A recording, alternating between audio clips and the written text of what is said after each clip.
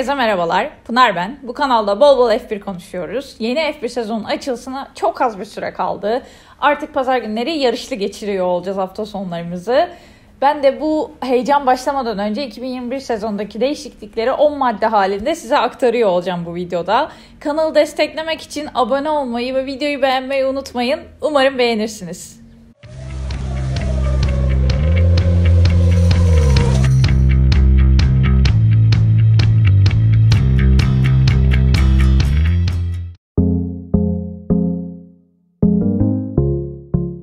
Başlayacağım madde sezonun en önemli teknik değişikliklerinden bir tanesi. E, bildiğiniz gibi uzun süredir arabanın tabanları, alt kısmı e, çok farklı kanatçıklar görüyorduk kenarlardan çıkan. İşte alt tabanda farklı farklı yapılar, geometrik şekiller görmeye başlamıştık. E, bunların hepsi aslında downforce'u yani yere basma gücünü arttırmaya yarayan yönelik şeylerdi. Bu sezon itibariyle F1 bunu kaldırıyor olacak. Aslında yekpare bir taban haline getiriyor olacak. Arka tarafa doğru üçgen modellemeler yapılabiliyor olacak. Bu sayede hem Pirelli lastiklerine baskı daha az olacak hem de daha fazla geçiş görebiliyor olacağız.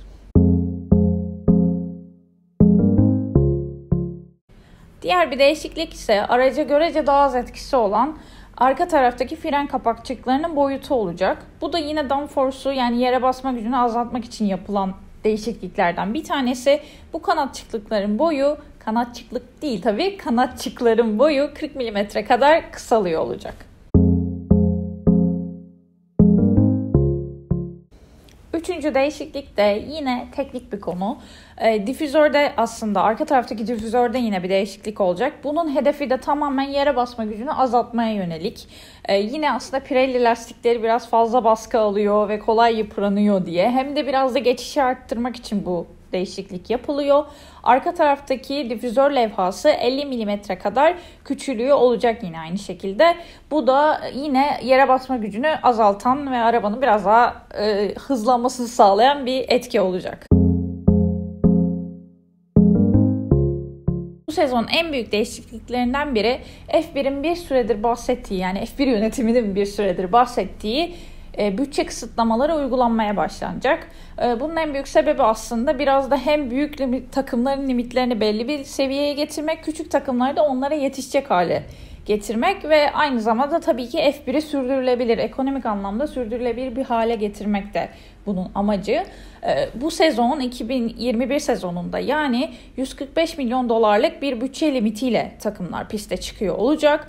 Bir sonraki sene yani 2022'de bu 140 milyon dolara, 2023'te de 135 milyon dolara düşüyor. Yani 135 milyon dolara kadar düşüyor olacak. Bu seneki kısıtlamalara belli konular dahil değil bu arada. Bu pazarlama bütçeleri, pilotların maaşları, çalışanların maaşları, işte e, takımın en çok kazanan 3 kişisinin maaşı gibi ya da hamilelik izni, babalık izni gibi farklı farklı konular buraya dahil değil daha. Ama zaman içinde muhtemelen Formula 1 buralara da limitler getiriyor olacak. Ayrıca ek olarak takımlar eğer fabrikalarına e, teknik ürünler almak isterlerse bunun için de 45 milyon dolarlık bir limitleri olacak.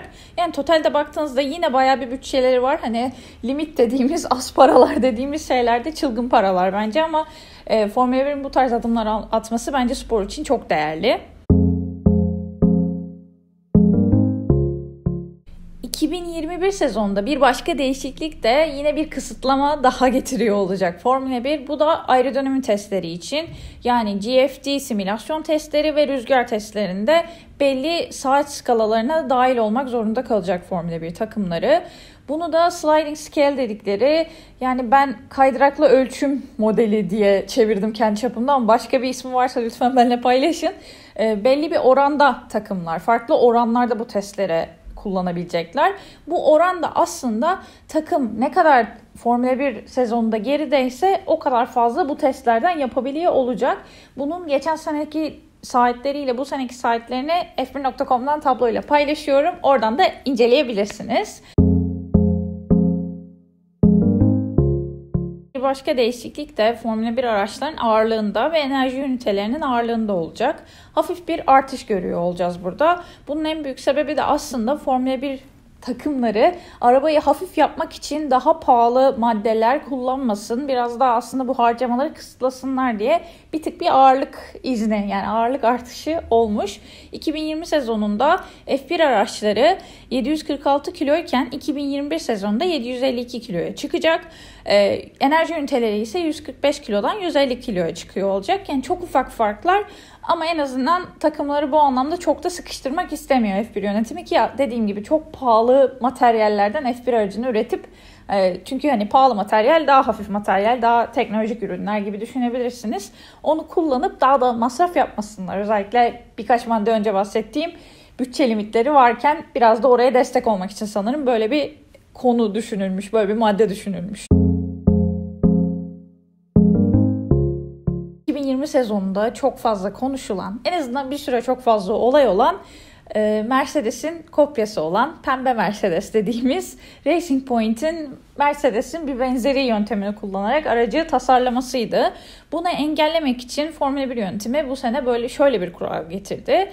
Araçta yapılan yeniliklere Formula 1 yönetiminin soru sorma, sorgulama hakkı olacak. Bu sorgulamayı da işte bu tasarımı nereden buldunuz, bu fikir nasıl ortaya çıktı gibi belgeleri takımlardan kanıt olarak isteyebilecek. Ayrıca sadece diğer takımları incelemek için bildiğimiz klasik video, fotoğraf çekmek gibi yöntemleri yani kayıt için çok daha standart yöntemleri kullanmak durumunda kalacaklar Formula 1 takımları. Bunu da ancak testlerde ya da yarış hafta sonlarında yapabilecekler. Bu sayede aslında bu kopyalama yöntemine bir engel, bir barikat getirmiş oluyor diyebiliriz Formula 1 yönetimi. 8. maddemiz ise aslında sadece Mercedes'i yani Hamilton ve Bottas ikilisini etkiliyor olacak. 2021 sezonunda DAS yani Dual Access Steering System yani çift eksenli direksiyon sistemi yasaklanıyor olacak. Bu madde aslında neredeyse sadece Mercedes için yapılmış diyebilirim. Başka değişikliğimiz ise biraz daha Formula 1 taraftarlarının izleme süresini bir tık daha azaltacak bir konu olacak ama belki heyecanı biraz daha artacak. Bildiğiniz gibi normalde cuma antrenmanları 90 dakika içerisinde, iki tane 90 dakikalık seans içerisinde yapılıyordu. Cumartesi antrenmanları ise 1 saat yani 60 dakikalık seanslar içerisinde yapılıyordu Formula 1 hafta sonlarında. 2021 sezonu itibariyle bütün antrenmanlar 60 dakikaya yani 1 saate indirgeniyor olacak. Bunun en büyük sebebi aslında yönetim Formula 1 araçlarının daha kısa sürede daha fazla piste çıkmasını istiyorlar. Bu limitli sürede muhtemelen herkes daha çok test yapmak, antrenman yapmak, ayarları oturtturmak için daha çok piste çıkacak. Biz Formula 1 severlere de aslında antrenmanlarda da bir tık daha daha fazla araçları görme ve izleme şansı doğmuş olacak diyebilirim. Son madde bana biraz ilginç geldi. Ee, sevindirici de bir haber ama beklemediğim bir maddeydi. Ben de araştırırken biraz böyle birkaç kere okudum emin olmak için. Ama Formula 1 yönetimi bu sene takımlara araçlarda kullanılmak için farklı maddelerin e, uygulanabilmesine izin verdi.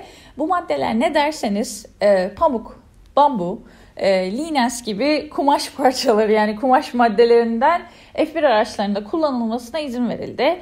Bunun en büyük sebebi tahmin edebileceğiniz gibi daha yeşil bir F1'e ulaşmak, daha sürdürülebilir, daha çevreci bir F1 haline gelebilmek aslında. Eminim Formula 1 takımları ana hedefi bu olmayacaktır. Yani bu materyallerden bir şeyler çıkartalım, full bambu araba yapalım gibi bir hedefleri kesinlikle olmayacaktır diye düşünüyorum. Olursa da çok şaşırırım. Ee, ama elbet bir yerlerde bu maddeler kullanılacaktır. Çünkü genelde hep gördüğümüz gibi Formula 1 aslında araç teknolojilerinin en tepesi diyebilirim. Ee, çoğu zaman yolda gördüğümüz, yol araçlarında gördüğümüz birçok teknoloji Formula 1'de zaten kullanılmış oluyor, denenmiş oluyor, test edilmiş oluyor. Hatta bazen Formula 1'de işe yaramasa bile daha sonra yol araçlarında işe yarayacak hale gelebiliyor. O yüzden aslında Formula 1'de daha yeşile gidiyor demek araba sektörü bir nevi daha yeşiliyor gidiyor diyebilirim. Buradan sakın lütfen Aston Martin taraftarları çıkarılmasın. Buradaki yeşilden kastım F1'in çevreci olması. 10 maddeden de anlayabileceğiniz gibi bu sene Formula 1'de devrim değil evrim sezonu. Aslında çok büyük değişiklikler yok. Ama şu, bence bu maddelerin çoğu şunu gösteriyor. Formula 1 daha sürdürülebilir bir hale, daha yeşil bir hale gelmeye çalışıyor bunun için aslında uğraşıyor. Önümüzdeki yıllarda bunun etkilerini daha da fazla görüyor olacağız muhtemelen. Formula 1'de bu değişiklikleri böyle yavaş yavaş hissettirmeden aslında içeriye alıyorlar. Ee, umarım bu videoyu beğenmişsinizdir. Sezon öncesi ufak bir hazırlık yapmış olduk diyebilirim. Yani benim için öyle oldu. Umarım sizin için de öyle olur. Kanala destek olmak için abone olmayı ve videoyu beğenmeyi unutmayın. Her hafta video çekmeye çalışıyorum. Siz de bu şekilde destek olabilirsiniz aslında bu e, efora diyeyim eğer beğeniyorsanız videolarımı.